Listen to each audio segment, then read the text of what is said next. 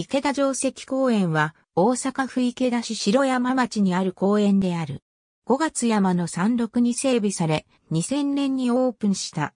室町時代から戦国時代にかけて、現在の池田市、美濃市、豊中市周辺を支配していた豪族、摂津池田市により築城された池田城跡に整備された公園である。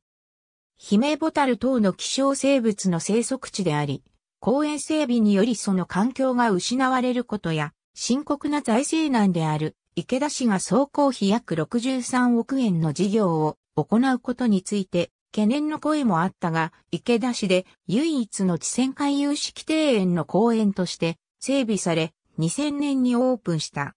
一般財団法人池田市公共施設管理公社が指定管理者となっており、池田市観光協会主催のイベントをはじめ、コンサートなど様々なイベントも催される。園内には白い城壁で囲まれた日本庭園が広がり、展望車、茶室、管理棟があり、展望車からは、園内、5月3、池田市街、兵庫県川西市、宝塚市、さらには大阪市や神戸市方面の風景を楽しむことができる。園内では、桜ゆり菊など季節ごとに様々な花が咲く。南門を降りたところには、小さいながらも花あやめ園が拾っている。また園内には、大阪教育大学の学生寮、5月家給料の記念碑がある。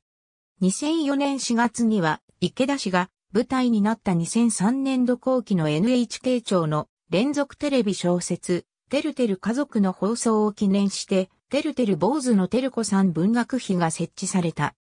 展望車から園内、5月山方面の風景、展望車から池田、川西市方面の風景大手門。ありがとうございます。